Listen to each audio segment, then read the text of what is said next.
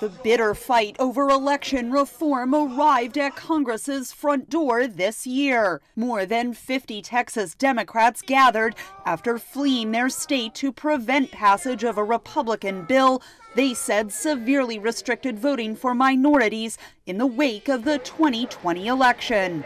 Trump lost the election. Since former U.S. President Donald Trump insisted without proof the election was rigged against him, 19 states have passed 33 laws with new restrictions on voting.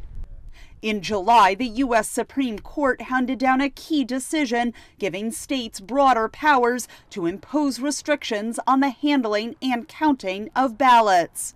Voting advocates say even more states are preparing more restrictive laws in response to the 2020 election. In the 2020 election cycle, within the United States, we saw the highest voter turnout in more than 100 years. Millions of voters, they cast their ballot um, by mail, which was an option that was expanded greatly because of the pandemic.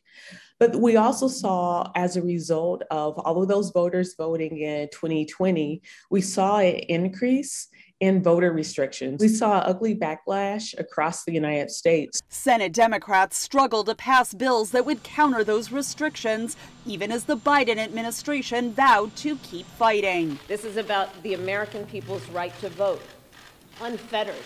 It is about their access to the right to vote in a meaningful way. Because nobody is debating, I don't believe, whether all Americans have the right to vote. The issue here is, is there actual access to the voting process? But with only a slim majority, Democrats had no chance of securing the 10 Republican votes needed in the Senate to pass legislation. Republicans want the states to support more rigorous voter identification and ballot security measures. These measures are designed to provide order and uh, secure the elections and provide confidence in the results. Conservative analysts argue elections should not be regulated from Washington. The states are each responsible for running their uh, elections.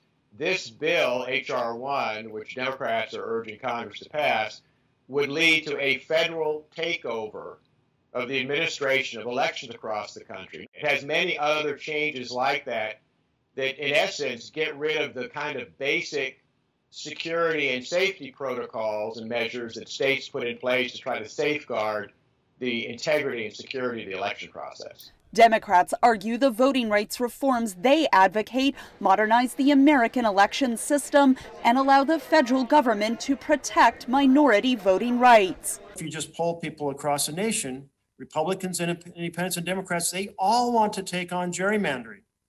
They all want to take on dark money that allows billionaires and corporations to buy elections. They all want to protect the ballot box as the pulsating heart of, of our republic. Civil rights leaders led a march of thousands on the nation's capital in August to demand those reforms. And in November, Democrats tried and failed again to secure enough votes. But with 2022 midterm elections looming, it appears the push for those reforms is dead. Katherine Gypson, VOA News, Washington.